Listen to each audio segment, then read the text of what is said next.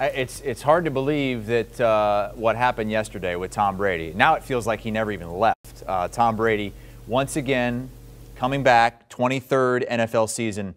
How do you think that changes what we're going to see in free agency this season? Uh, I think this was all about timing. You know, he makes this decision in part because maybe he got tired of hanging out with his family for a couple of months. Didn't take long, 40 no, days, it did. 40 I mean, nights, right? He'd rather get hit by a 300-pound lineman than have to deal with staying with his kids, entertaining them all day. Uh, the reality is this: the timing of it though matters because he does it before free agency starts. It allows them the chance to recruit some of these guys either back on the roster other guys they value in free agency. And then obviously going into the draft, you know what you're dealing with. You're not looking for a potential replacement of Tom Brady. Now you're looking at how we can maximize this time frame with Tom Brady. And maybe if you are looking at a quarterback, you're more thinking, okay, we've got a year to groom this guy under Tom Brady for another year if they don't think Kyle Trask, who they drafted in the second round a year ago, is the future. So there's all those things out there for them, but the timing of this, I think, was big for the Tampa Bay Bucs. Not getting a call like a Brett Favre in July saying, "Hey, I want to come on back and play now." No, they're they're setting things up to try to at least run it back one more time again with a similar group or something close to it.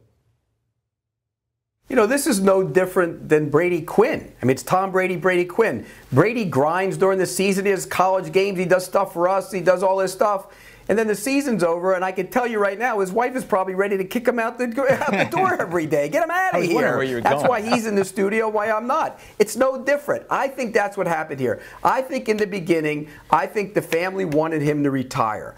I really do. And they decided, they looked around, they said, no, wait a second, what's he going to do?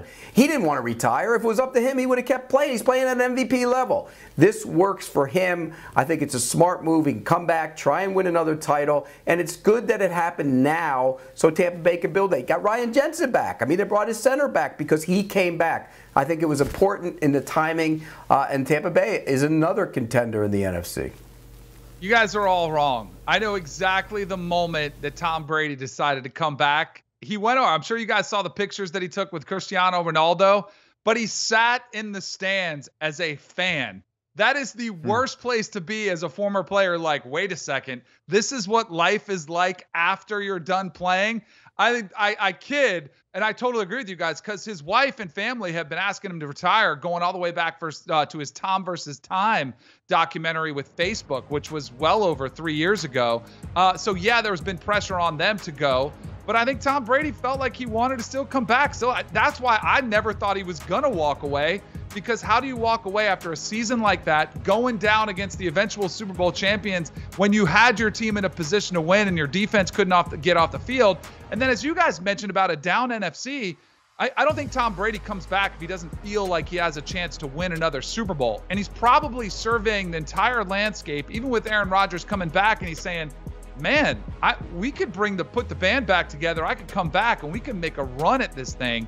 Um, so I, I think it was pretty. The writing was on the wall. And then for as far as the impact on free agency, the other quarterbacks that were potentially thinking about going to Tampa is who I think this impacts the most. You know, if they were kicking the tires into Sean Watson, Baker Mayfield, some of the names that they were considering bringing in, obviously those are the kind of Mitchell Trubisky. They had thought about him. Any of those other free agent quarterbacks now, obviously not a landing spot for him in what we thought was going to be a wild quarterback carousel. We've already seen it, but this door being closed now with Brady back in uh, under center there, I think it impacts those quarterbacks greatly.